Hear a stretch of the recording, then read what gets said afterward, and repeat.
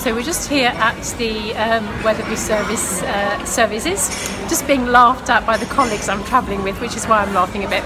And we're on our way up to um, Craster in Northumberland because a colleague of mine is running a retreat, and Shirley and Karen, who are travelling with me, are um, going as retreaters, and, and, I'm going to teach some trance over the course of the weekend.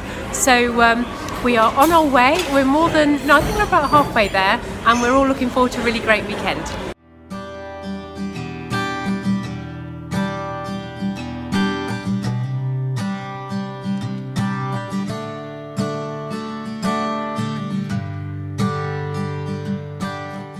So we're here in Dunstan Hall and I've just given you a little bit of a tour. It's um, a lot of the place with lots of different nooks and crannies and all sorts of individual little rooms and um, it's an art and soul weekend. So Diane Wright is the spirit artist and she's going to be taking people through various um, aspects of spirit art. And I'm here to um, support people um, in uh, learning about um, trance mediumship. Um, so it's going to be a really exciting weekend and just a total getaway from it all. Um, and hopefully, we're going to have an amazing time.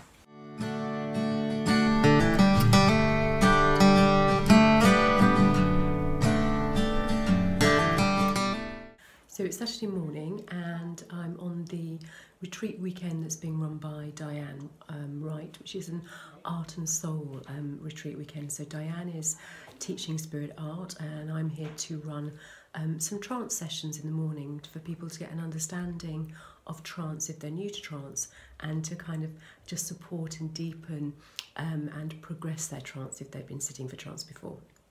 So I'm sitting in um, what is um, a really um, bizarre place. It must have been storage um, years ago when the house was built. So it's it's like a little cavern, and um, it's um,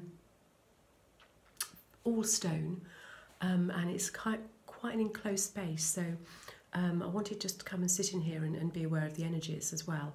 And interestingly, there's um, a lady on the retreat who's also in my trance mentorship group, and I've worked with her for a number of years. And she's actually she sits for physical mediumship as well. And um, because this is a really enclosed space, it'd be really interesting to see how she works if she actually wants to sit and do any any trance in this space. But um, I did promise, didn't I, a couple of vlogs ago, that I would share um, some of the experiences that I'd had, and and it was when I was talking about there are experiences you know to be true and you can't logically explain them. So I just thought while I'd got a quiet few minutes that I would sit here and talk to you about an experience I had. Um, where I actually went up um, into spirit. And I was in Spain, I was on holiday, it was August.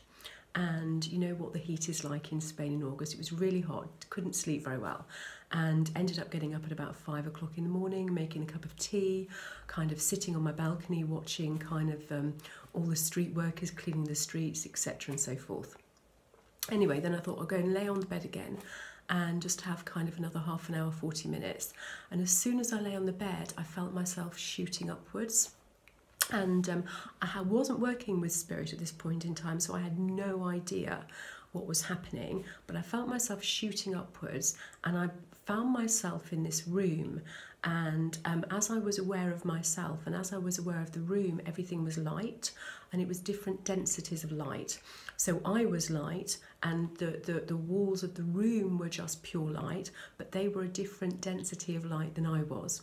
And I remember um, looking around the room, and I say looking because I wasn't aware of necessarily physical body, but I remember being aware of trying to move in the room, and I, and I did move because I could feel my, and be aware of my energy moving. But wherever I moved, I was always in the center of the room. Um, and then I became aware of these three other energies that were also in the room with me. And um, there was an overpowering and overwhelming sense of love, and I've never felt anything like it. And I knew that I had to listen to what they were saying, and I didn't hear the words, I felt them. Um, and they said to me, You must experience the pain of true grief.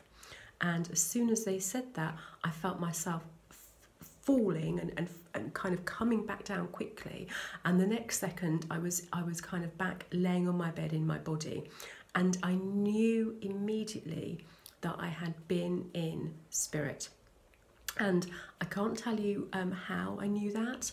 Um, I just knew it. I can't logically explain it. You know, I didn't have any rationale for it. Um, but I, I definitively knew that that's what had happened, and my instinct when I when I was kind of back and aware of myself was to think, oh my God, and think of the words that were said, which you know where you must experience the pain of true grief, and um, and the split second after I thought about the words, I dismissed the worry that came with them because of the sense of overwhelming love that I had felt. And that experience of love is something that I will never forget. I remember it to this day. And when I work with spirit in the trance state, um, I often experience that same sense of overwhelming love as they start to blend in with me or as they're moving as we're moving out of the blending process. Um, but I, I didn't know, I hadn't worked with spirit at that point in time, so I had no idea of what anything was, but I knew definitively um, that I'd been with the spirit in that moment, and that that aspect of us, that essence of us, that, that's in the spirit is not of the physical at all in any way shape or form. Um, interestingly you know i think there are always there's always a reason for the experience that, that we have and um, grief is the most powerful mix of complex emotions that we have. And grief opens up um, opens us up in ways that nothing else can and interestingly, when my grandfather died, which was a couple of years after that experience, and when my father died, um, you go through that, that process, that physical process of, of, of, of grief and grieving and, and all of those emotions. But I remember on both of those occasions um, those words coming back to me you must experience the pain of true grief. And I allowed myself on both occasions to go into the feeling of grief. So often in in the world nowadays we we have to have a stiff upper lip we have to move through it we're not actually allowed to grieve properly because we have to get on with life and on both of those experiences of, of, of grief for me i've allowed myself to move into the emotion i've allowed myself to feel it i've allowed myself to really be in the emotion the pain all of the things that we feel physically when we, we lose somebody. And in both cases, they've, they've been allowing myself to be that has, has changed me, has opened me in a way that I don't believe would have happened if I hadn't allowed myself to actually move into the process of grief rather than just to move through it. I think I've pressed the right one, but I'm never sure.